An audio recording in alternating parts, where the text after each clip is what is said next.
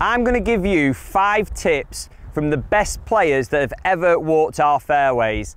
Today we've got some real nuggets and if these tips were good enough for them, they're certainly good enough for us.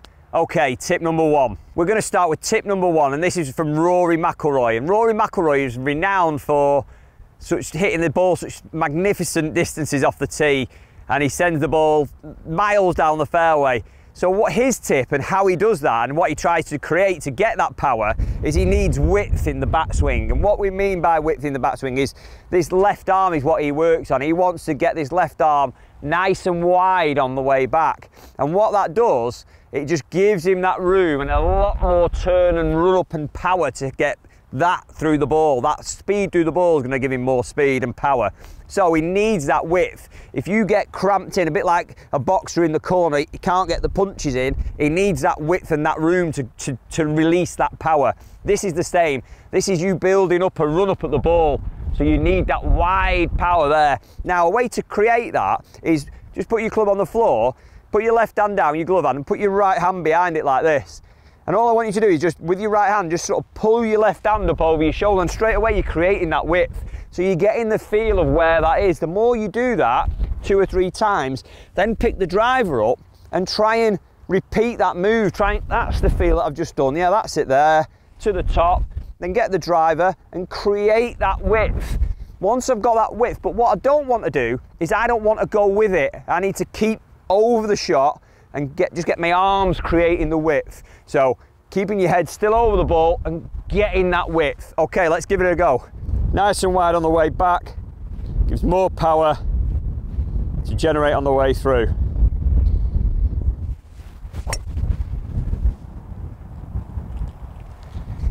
Just like Rory.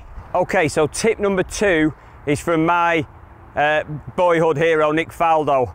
Nick Faldo was a perfectionist and a phenomenal golfer, and, and he would talk about the use of alignment. So you'd use alignment sticks or golf clubs, and he would he was talking about how he would play in pro-ams and the guy would stand on the tee and he'd hit this great shot and it'd go straight into the middle of the trees and he would he would say to him great shot and they'd look at him he went you've hit that exactly where you're aiming he said so if you look at the players that you are playing with at a weekend you will see that a lot of these people don't even aim correctly.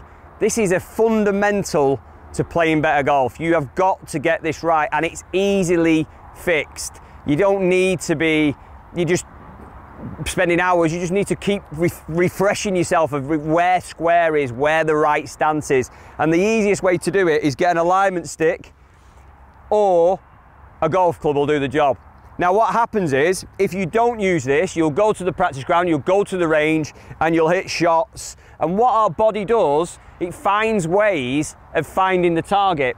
Don't forget you've got a bucket of balls of 50 there. You hit a shot, you slowly adapt and your body will find ways of hitting it on target and you'll think, I'm fantastic, I made it great, I'm ready for the comp on Saturday. You turn up for the comp on Saturday and all of a sudden you're in a different position. You haven't got that third, fourth, fifth shot to, to try and recover and try and put right your errors and it doesn't work. And you, you look there get confused. How is it so good at the range? And now it's not because your alignment is poor.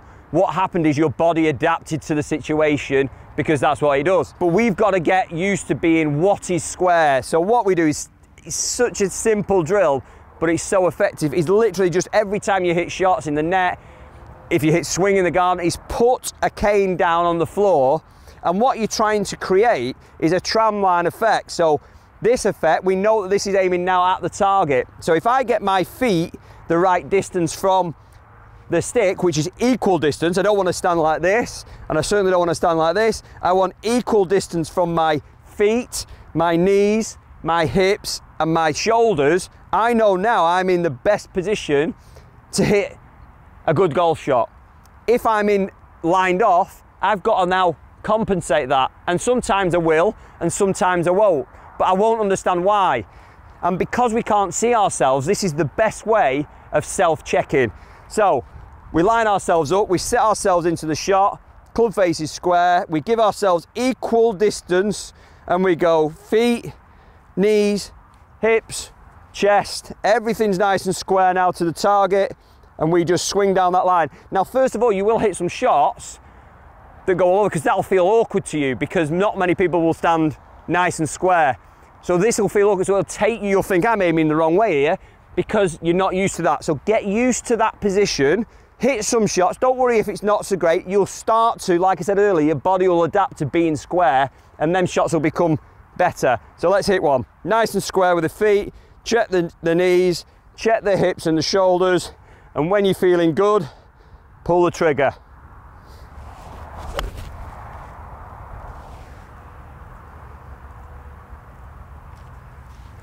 Keep repeating that shot. Keep hitting them shots. Don't worry at first if it's not good. And then take that onto the course and your golf will improve. Okay, so tip number three. Tip number three is Tiger Woods. Uh, obviously one of the best that there's, there's ever been. And what his tip was, the drill he likes to work on, when he, certainly when he was working with Butch Harmon, is he likes to get the feel of stopping at the top. So he'd go to the top of the backswing, stop, because he used to spin out too much. So what he wants to create is his hands in front of his body. Now, but this drill will work for everybody because what I see is a lot of players don't know where the top is or they never actually reach the top. So they're always in the top of the backswing and then they're on the way down. They never really know where that is. So by having that little stop at the top, it's giving you a reference of where the end of the swing is. So I would really build this into a practice swing first because it's not an easy drill.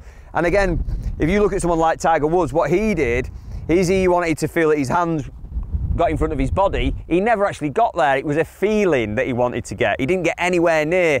And that's what I'm saying is when you're swinging the golf club, you're not always doing what you think you're doing. So you've got to have little pointers, little references where you know where the top of that swing is, you've completed your swing, and now you can deliver the downswing on the way in. Most or a lot of bad shots are caused at club level just by the anxiety of the shot. They want to get it over with, they're not comfortable with it, they don't complete the backswing, and everything's out of timing. So this drill is perfect if you're that kind of player. So what I want you to do is I just want you to go to the top of the swing, take your normal stance, go to the top, feel the top, and then execute the shot. Now you can do this in the net and do it at the range. We're gonna hit one here now, but it's not an easy drill. So you'll hit some poor shots, but just stick with it because it'll start over time, do it with practice swings, it'll start to bed into your game. You don't do this out on the course, you just do this as a practice swing and in, and in practice. Okay, to the top, feel the end of the backswing, and then start on the way down. Feel it, hit it. Take this tip to the practice ground, into the nets, and you'll start to get that reference of where the top of the backswing is, and you'll create a better swing all round. Okay, so now we're on to tip four. Uh, and these, all these players are obviously the world's best. So we're now working with Jack Nicklaus. Now, Jack Nicklaus's tip was he wanted to have good footwork. So this happens, I always, I teach it this when I'm giving lessons. I talk about other sports. And in other sports, I always say, if you think about a boxer, he has great footwork. If you think about a tennis player, footballers, when the football, they, they generate room by creating good footwork.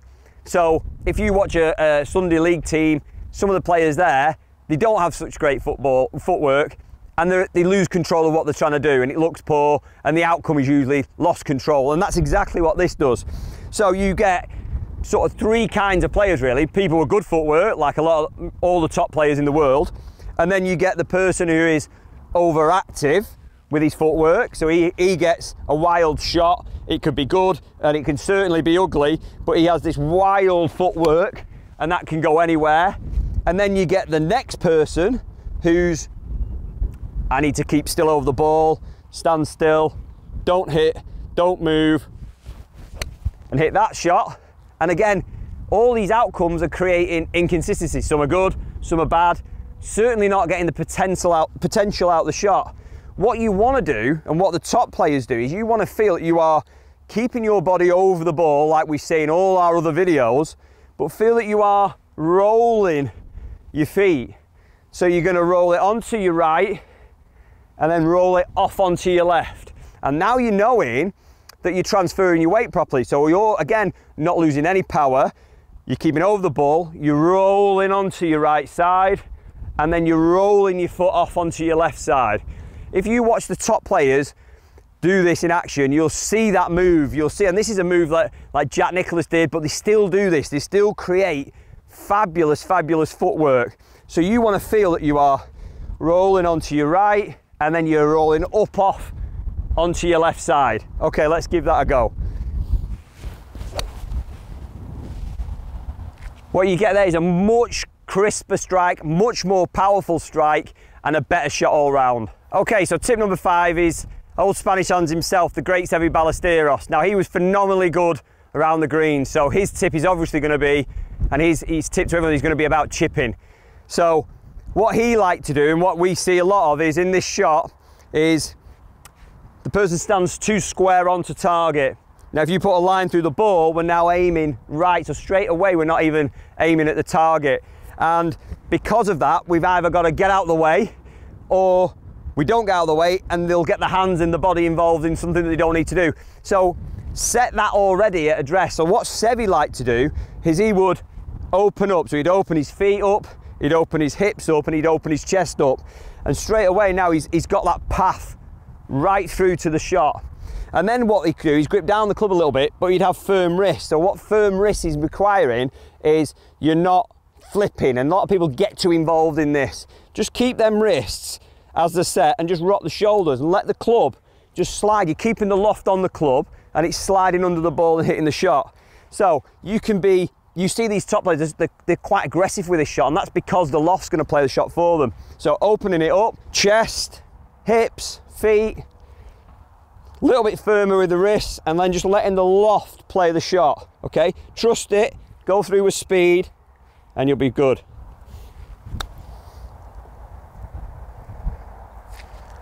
Okay, one more.